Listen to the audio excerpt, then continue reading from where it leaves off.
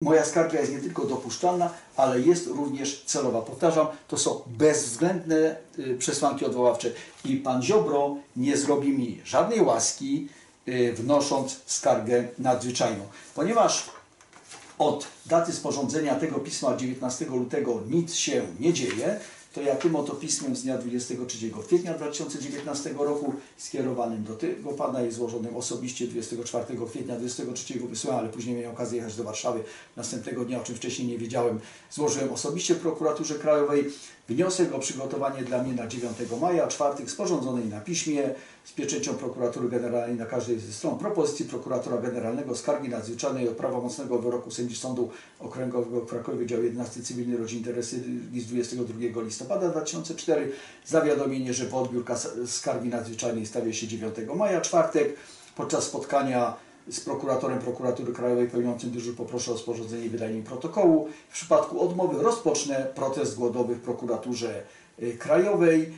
I, a w przypadku wyproszenia mnie z prokura- prokuratury krajowej będę ten protest głodowy prowadził przed nią. Proszę Państwa, Zbigniew Ziobro y, chroni y, przestępców. Nie można wykluczyć, że w psychiatryku znajdę się 9 maja, czyli za kilka dni, 9 maja 2019 roku. Informowałem Państwa, że tym oto pismem z 22 lutego 2019 roku pracownik y, prokuratury krajowej Departamentu Postępowania Sądowego Arkadiusz Szwedowski poinformował mnie, że stosownie do Pana pism podane daty y, uprzejmie zawiadamiam, że z uwagi na zmianę prokuratora, referenta sprawy w dniu dzisiejszym, to jest 22 lutego, y, czyli już, no teraz już mamy maj, ponad dwa miesiące temu, zwrócono się do Sądu Rejonowego w Dębicy o ponowne nadesłanie akt sprawy o sygnaturze 2K 407 ukośnik 13 celem ich analizy pod kątem zweryfikowania podstaw do wystąpienia z nadzwyczajnym środkiem zaskarżenia. Po otrzymaniu powyższych akt sprawa niniejsza zostanie zbadana w pierwszej kolejności, a o wnioskach wynikających z przeprowadzonej analizy zostanie Pan niezwłocznie poinformowany. No to jest pismo z 22 lutego. Mamy 3 maja i nic w tej sprawie w dalszym ciągu się nie dzieje. Informowałem Państwa w moich y, poprzednich PPP 140, rozpocznę od PPP 141, część pierwsza. Będę śmiertelną ofiarą PiS, data 9 maja 2019.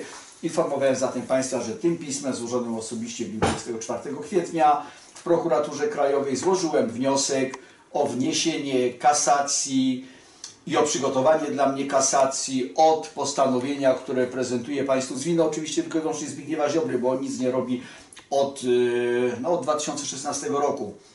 Zatem chodzi o kasację od tego postanowienia z dnia 15 marca 2016 roku sędzi Sądu Rejonowego w Dębicy Beaty Stój, która po prawie 10 latach prowadzenia postępowania przeciwko mnie przez Sąd Rejonowy w Dębicy przypisała mi popełnienie 18 przestępstw za pośrednictwem internetu. Nie będę opowiadał, jakie to przestępstwa, bo o tym dokładnie właśnie w tym PPP 141.1 i umorzyła e, postępowanie ze względu na ustanie karalności czynów.